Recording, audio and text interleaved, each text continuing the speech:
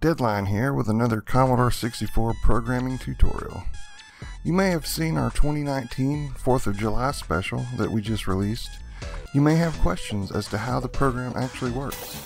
The program itself is incredibly simple, and I'm going to show you how I put it all together. Before I dive headfirst into it, I need to explain the ignition system that I designed the Commodore 64 user port is attached to an 8-channel relay board available on Amazon for $7.99. I attached one relay to a standard 9-volt battery, which is then connected in line to an Estes rocket igniter. I had to install a safety switch because whenever I turned on or off the Commodore, it kept tripping the relays. So the order of operations is to turn off the safety switch, turn on the Commodore 64, load and run the 1776 program, then turn the safety switch to the on position. At this point, the system is armed, and you can press fire on joy port 2 and the relay will operate and light the rocket igniter. Okay, back to the tutorial. First, I edited the flag graphic screen with a PC program called PetMate. It is also available for Mac OS and Linux. This app is packed with features and is available for free at Nurpax's github.io page, which I have put in the description below. Editing the flag was not that much of a chore, I just alternated between red and white. The blue is already part of the C64's built-in color scheme. I then changed the border to black.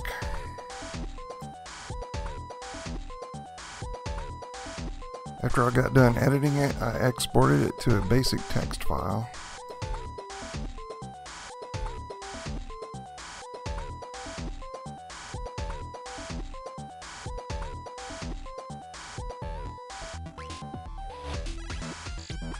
Then I opened it up in VS Code, selected all, and pasted it into Vice.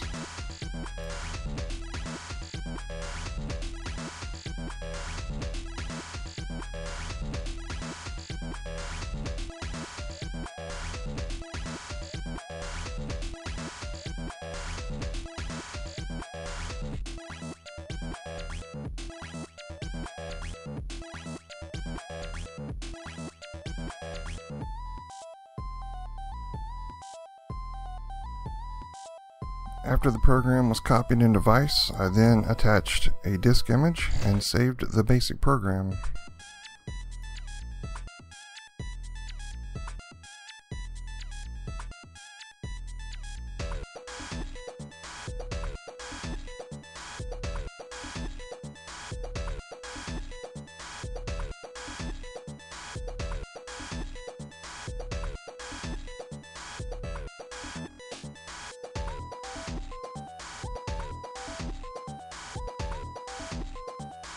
I then transferred the disk image to my Ultimate 2 Plus cartridge and proceeded to edit the BASIC.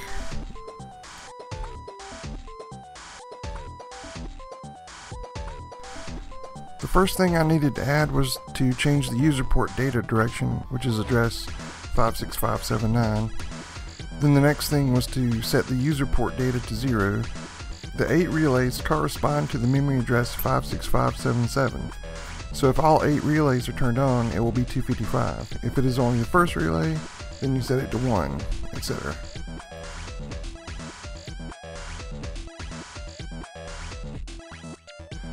Next, I added some printed text over the flag and added in the joystick fire reading lines. Joyport 2 can be read with a PEEK to 56320. If the value of this PEEK is 111, then the fire button has been pressed.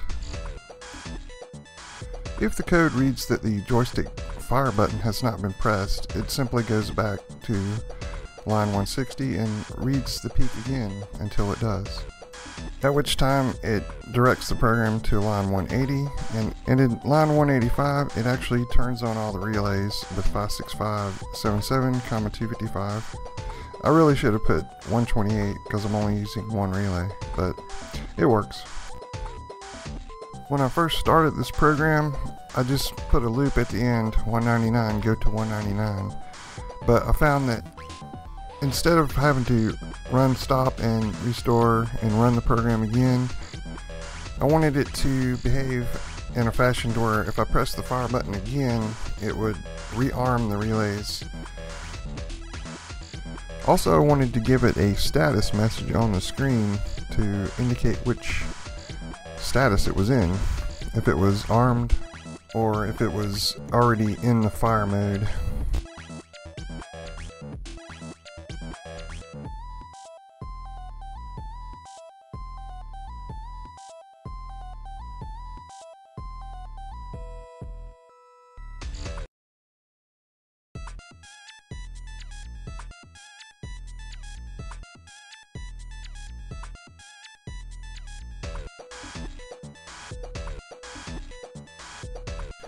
So at this point, it's ready to run and give it a test and see what happens.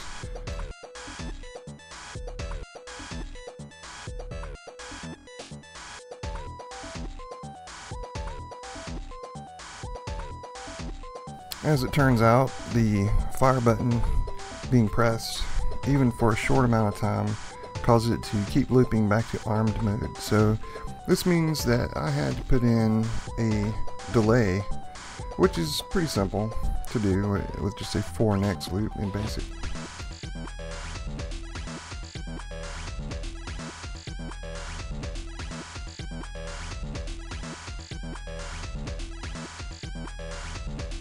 Just for good measure, I put another PEEK to 56320. I'm not sure if this is really necessary, but I did it anyway.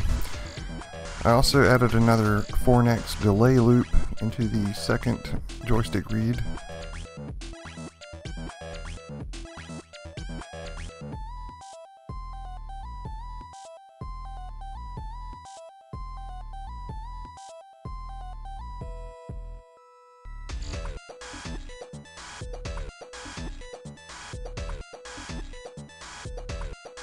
Then I discovered there was a couple issues with the control of the program and I had to renumber a couple lines and add a go-to line statement.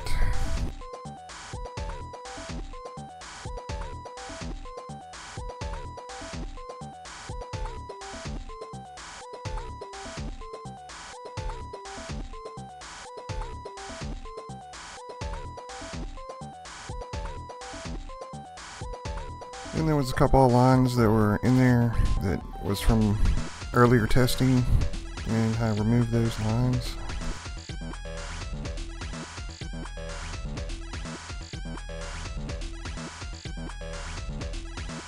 Also added the initial armed status for when the program is first run.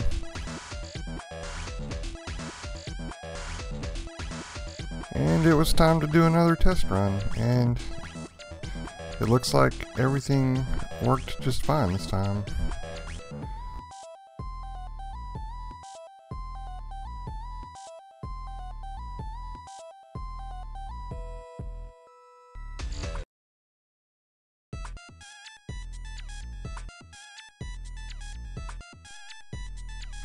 Okay, and so here's the final listing. If you look, you'll notice that there's a longer delay in between the um, fire button checks. So we're going to have this on the GitHub webpage for download. And we're going to post the link to that in the description. And if you haven't seen it already, you should go check out the 4th of July special that we put out on our channel. The link to it will also be in the description. Alright, that about wraps things up. We had a blast making this, so we hope you enjoy it. And if you do use fireworks, please use common sense and don't blow yourself up or your hands. If you like this video, please don't forget to hit the like button. It really helps us out. And share the video. Also, don't forget to subscribe because we got some really good stuff coming up. We're about to rock this world and turn things up to 11, so you don't want to miss any of it.